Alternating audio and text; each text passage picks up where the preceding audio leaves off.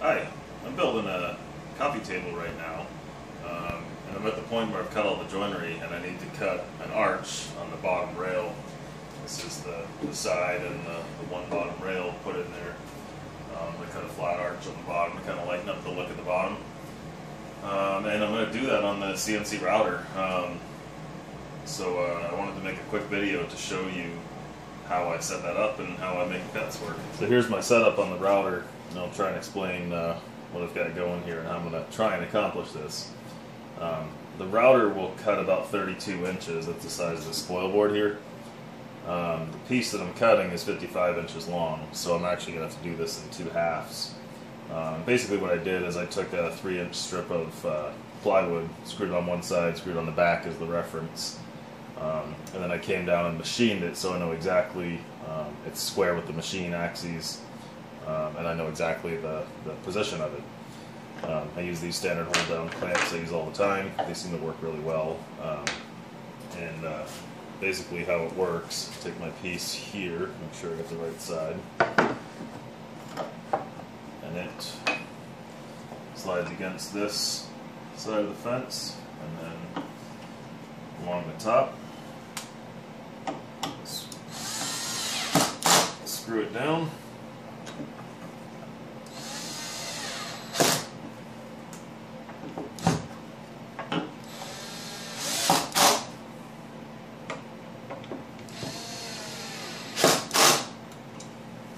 Gets it nicely referenced.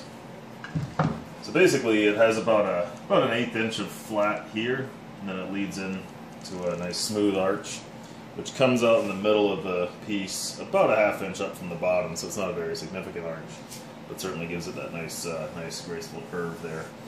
Um, and what it's going to do, it's going to come in and lead in um, with a tangential arch up into this curve.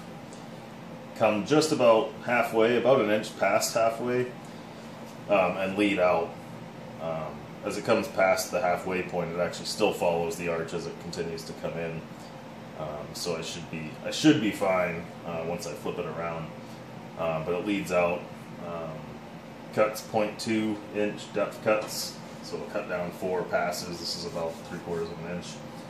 Um, so it'll cut it down, but you get like the uh, stair step looking where you keep doing the depth cuts. So then after that, it does a finishing pass at full depth all the way down it. Should leave a nice smooth surface because you can do a nice climb cut with a CNC. Um, kind of a little bit more dangerous to do by hand, so should end up with a pretty nice finish that barely needs sanding. Is the goal at least. So uh, let's see how it does.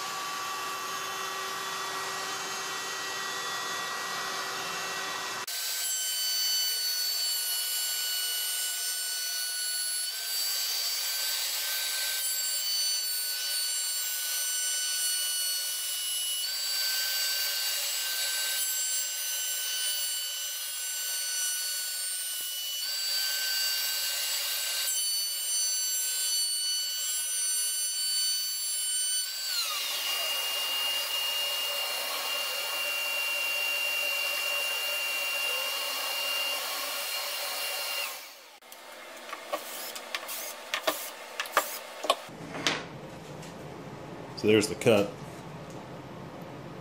I'd say that's pretty nice and smooth. Got about an eighth inch of flat here, if you can see that. I'm not sure if you can. But let's flip it over and try the other side.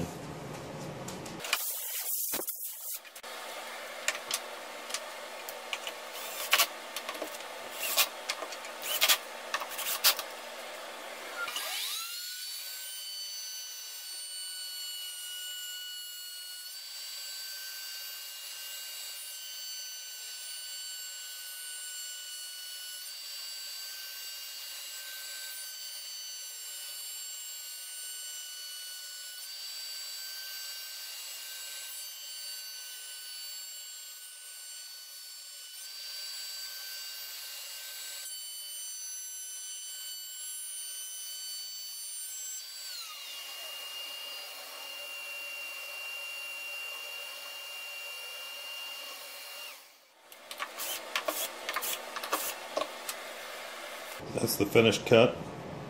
You see just a tiny, tiny bit of a bump here. I think I'll smooth that out, but see the grains going the other direction. It's a little rougher here, but a little bit of sanding is not too bad. I just got to do the other long rail and two short rails. Okay, well now I got the two long rails cut. Let's cut the short rail. This one I can do in one shot, of course. And uh, see how nice that comes out. I took the uh, dust cover off the router so you can see it cut.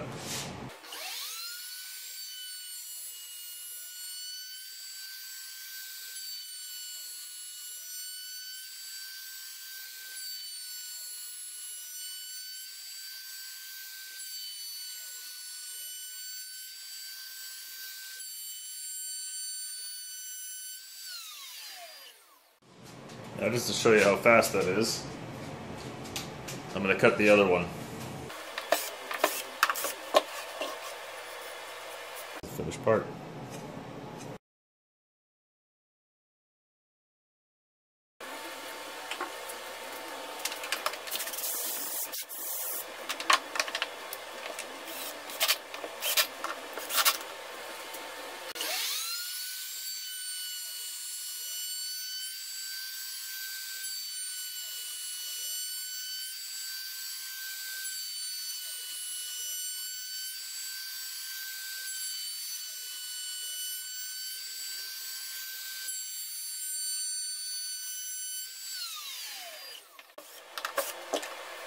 There we go. Both parts cut in about five minutes. Well, that's it for this video. Hope you enjoyed it. If you have any questions or comments, please leave them in the comments uh, section below. And if you like this video, give it a like. I'll see you next time. Thanks.